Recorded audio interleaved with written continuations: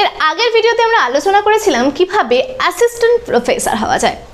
এবং আজকের ভিডিওতে আমরা আলোচনা করব নেট পরীক্ষার বিস্তারিত বিষয় নিয়ে। শুধু নেট পরীক্ষা নিয়ে আলোচনা করব না, আলোচনা করব সেট পরীক্ষা নিয়েও। এছাড়া জে আর এফ কি সেই বিষয় নিয়েও আমরা পুঙ্খানুপুঙ্খ বিশ্লেষণ করব। এই ভিডিওর মধ্যে থেকে তোমরা নেট পরীক্ষার যাবতীয় বিষয় সম্বন্ধে জানতে পারবে। মানে নেট পরীক্ষায় বসতে গেলে তোমার যোগ্যতা কত লাগে? তোমার কি কি কোয়ালিফিকেশন থাকলে তুমি নেট পরীক্ষায় বসতে পারবে? নেট পরীক্ষার সিলেবাস কি? নেট পরীক্ষা বছরে কতবার হয়? এরকম অনেক প্রশ্ন তোমাদের মধ্যে রয়েছে। তারপরে নেটে পাশ করতে গেলে কত কাট অফের প্রয়োজন হয়? এই সমস্ত বিষয় নিয়েই আজকে বিস্তারিত আলোচনা করব। ভিডিওটা প্রথম থেকে শেষ অবধি দেখলে নেট নিয়ে যাবতীয় যা প্রশ্ন তোমাদের মনে আছে সম্পূর্ণটাই ক্লিয়ার হয়ে যাবে। তো চলো তাহলে ভিডিওটা শুরু করা যাক। তার আগে আমি অতসী তোমাদের প্রত্যেককে স্বাগত জানাই ইউর স্টাডি চ্যানেলে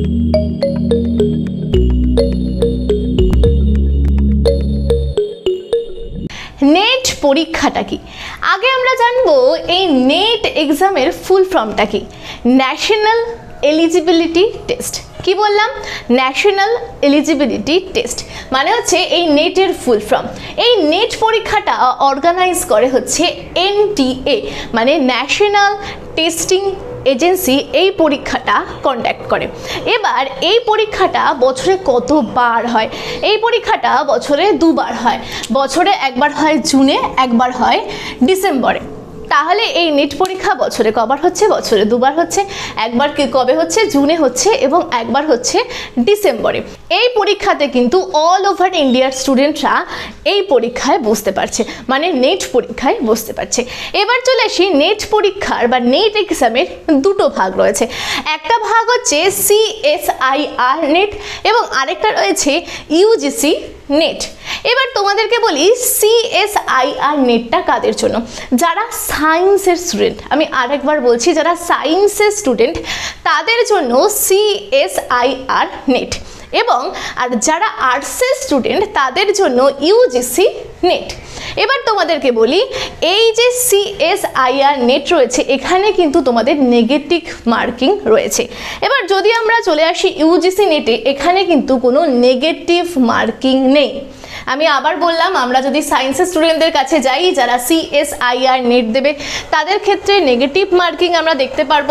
কিন্তু যারা ইউজিসি নেট দেবে, তাদের ক্ষেত্রে আমরা নেগেটিভ মার্কিং দেখতে পাবো না। এক্ষেত্রে বলি নেট পরীক্ষায় বসার জন্য তোমাকে তোমার এমএতে বা পোস্ট গ্র্যাজুয়েশনে কিন্তু ফিফটি ফাইভ পার্সেন্ট নাম্বার থাকা প্রয়োজন। যদি তুমি জেনারেল ক্যান্ডিডেট হয়ে থাকো, তাহলে তোমার ফিফটি ফাইভ পার্সেন্ট নাম্বার থাকা প্রয়োজন। এছাড়া তুমি যদি আদার্স ক্যাটাগরি স্টুডেন্ট হয়ে থাকো, তাহলে আদার্স ক্যাটাগরি বলতে আমরা যদি ওবিসি বা এসসি বা এসটির ক্যান্ডিডেট হয়ে থাকি, তাহলে ফিফটি পার্সেন্ট হলেই আমরা এই পরীক্ষায় বসতে পারছি। এবার আমি তোমাকে বলি, ধরো এই নেট পরীক্ষায় আমি ধরলাম দুশো জন ক্যান্ডিডেট পরীক্ষায় বসেছে। এই দুশো জন ক্যান্ডিডেটের মধ্যে থেকে মাত্র সিক্স পার্সেন্ট মানে দুশো জনের যদি তুমি সিক্স পার্সেন্ট করো, তাহলে আসবে বারো জন। এই বারো জনই পাশ করতে পারবে।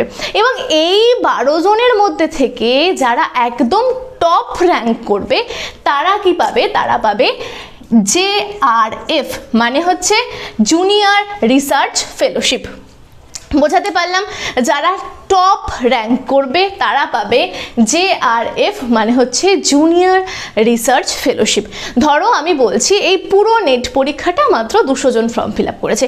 এই দুশো জন পরীক্ষা দিক কি পাঁচশো জনই পরীক্ষা দিক তোমাদের সিক্স পার্সেন্ট সিক্স পার্সেন্টকে নেট কোয়ালিফাই করায় এবং তাদের মধ্যে থেকে যারা টপ র্যাঙ্ক করেন, তারা কিন্তু এই জে আর এফ পায়।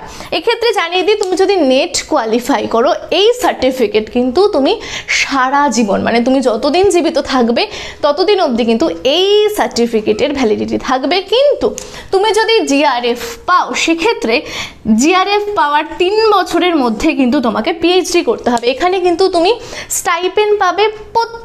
প্রত্যেক মাসে তিরিশ থেকে পঁয়ত্রিশ হাজার টাকা। তো সুতরাং এই তিন বছরের মধ্যেই কিন্তু তোমাকে পিএইচডিতে অ্যাপ্লাই করতে হবে, নইলে কিন্তু আবার তোমাকে পরীক্ষা দিতে হবে। আচ্ছা চলে আসি আমরা বয়স। কত বয়স থেকে তোমরা অ্যাপ্লাই করতে পারবে? তোমাদেরকে বলে দিই, আঠেরো বছর থেকে তিরিশ বছর অবধি বয়সের ছাত্রছাত্রীরা কিন্তু এই নেট পরীক্ষার জন্য বা নেট পরীক্ষায় বসতে পারবে। এছাড়া ছাড় রয়েছে কাদের? তুমি যদি ওবিসি ক্যান্ডিডেট হয়ে থাকো, তাহলে তোমার জন্য বয়সের ছাড় হচ্ছে তিন বছর। এছাড়া তুমি যদি এসটি এবং এসসি ক্যান্ডিডেট হয়ে থাকো, তাহলে তোমার জন্য বয়সের ছাড় হচ্ছে পাঁচ বছর। মানে এসসি এবং এসটি ক্যান্ডিডেটদের জন্য পঁয়ত্রিশ বছর সময়সীমা থাকছে ওবিসি ক্যান্ডিডেট জন্য থাকছে হচ্ছে তেত্রিশ বছর এবং যারা জেনারেল কাস্টের স্টুডেন্টরা রয়েছে, তাদের জন্য থাকছে তিরিশ বছর। আঠেরো থেকে তিরিশ বছর অবধি বসার সুযোগ থাকছে। এবার চলে আসি ফর্ম ফিল আপে দেখো, এখানেও কিন্তু আমরা দেখতে পারব, যদি জেনারেল ক্যান্ডিডেটের স্টুডেন্ট তুমি হয়ে থাকো, তাহলে তোমার ফর্ম ফিল আপের জন্য কিন্তু হাজার টাকা তোমাকে পে করতে হবে। এছাড়া তুমি যদি ওবিসি ক্যান্ডিডেট হয়ে থাকো, তাহলে তোমাকে পাঁচশো টাকা ফর্ম ফিল জন্য দিতে হচ্ছে। এবং তুমি যদি এসসি এবং এসসি ক্যান্ডিডেট হয়ে থাকো, তাহলে তোমাকে দিতে হচ্ছে আড়াইশো টাকা। আশা করি বোঝা গেল। জেনারেল কাস্টের স্টুডেন্টদের জন্য সব থেকে বেশি তারা হাজার টাকা দিয়ে ফর্ম ফিল করবে।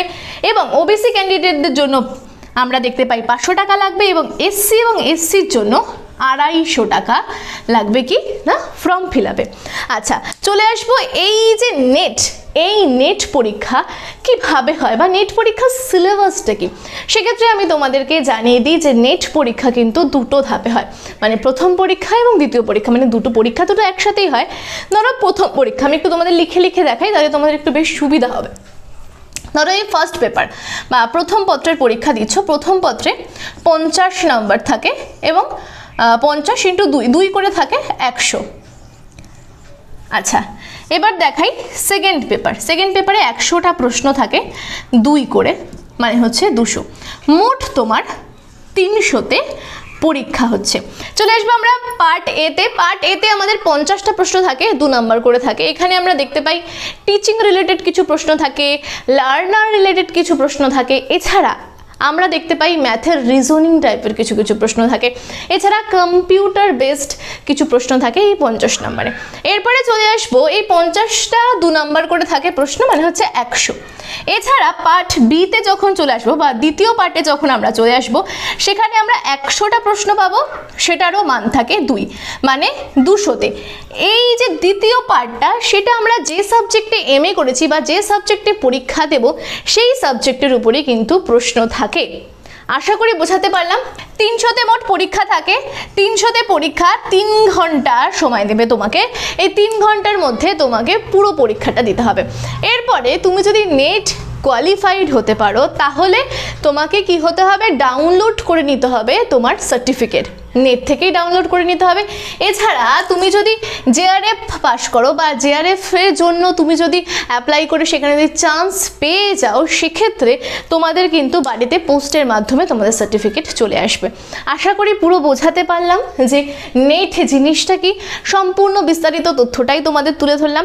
এখানে আরেকটা বিষয় রয়েছে যেটা হচ্ছে সেট যেটা হচ্ছে রাজ্য সরকারের অধীনে পরীক্ষা। এই পরীক্ষাটা কিন্তু আমরা যেমন দেখলাম, নেট বছরে দুবার হচ্ছে জুনে হচ্ছে, একটা ডিসেম্বরে হয়েছে। সেট কিন্তু সেক্ষেত্রে সেট বছরে একবারও হতে পারে, চাইলে রাজ্য সরকার দু বছরে একবারও নিতে পারে।